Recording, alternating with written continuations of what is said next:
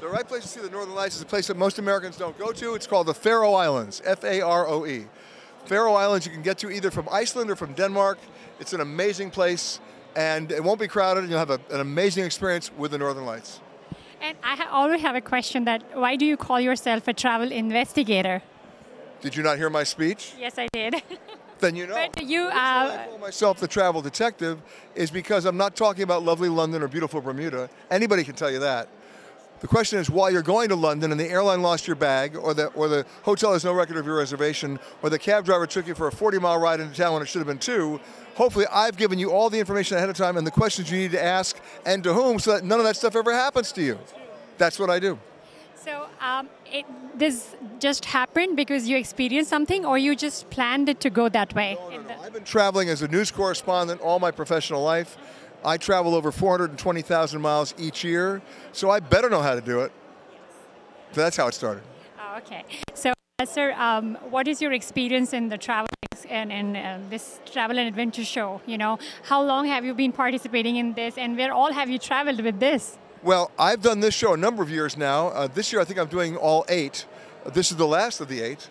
Uh, so last week we were in Denver, and, and then uh, no Philadelphia last week, and then Denver before that.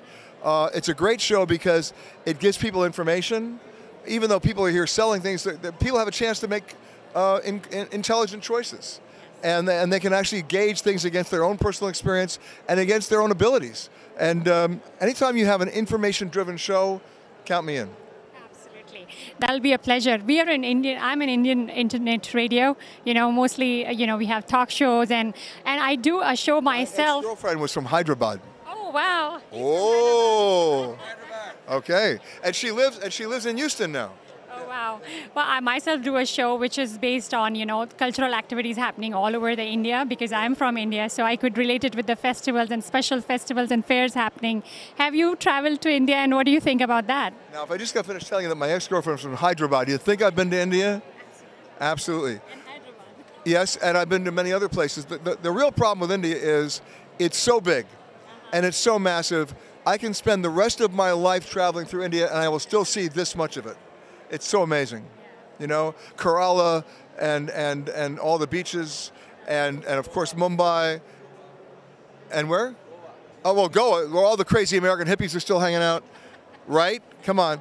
Um, Indian hippies too. Indian hippies too. Uh, but all those places, for me, uh, are special uh, because in the world of hospitality, uh, I, I put India on the same par as my friends in Thailand. They have refined and defined hospitality. And you, you feel very special when you go because everybody is so nice to you. So, uh, lastly, don't deserve to be that nice to me. I don't deserve it, but it is. you've been criticizing them? I've, no, I've no, I've been I've been spoiled by them. They're great. Yeah. Well, we spoil everyone, definitely. So, what is your most favorite destination in the whole wide world? I mean, you travel so much, I'm sure it must be very difficult to pick one. It is very difficult to pick one, but my criteria might surprise you. My favorite place in the world, and I've got about 20 of them, is wherever I sleep the best. Because where you sleep the best, you think the best. Where you think the best, you create the best. Where you create the best, you love the best. You experience the best. But it all starts with where you sleep the best. So, that is the criteria, but what is that destination where you sleep the I best? had 20 of them.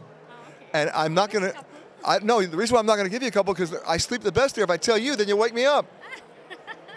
As you're dreaming. Right. But everybody has one. Uh, you have one, your cameraman has one. Everybody has that place where they sleep the best, and you protect that place. That's the place you want to go back to. What will be your last message for my radio? Well, my last message is uh, the one five letter word that you should take out of your vocabulary when it comes to travel or anything else is later. Get rid of that word because every time you use it in a sentence, you either don't do it as well or even worse, you don't do it at all.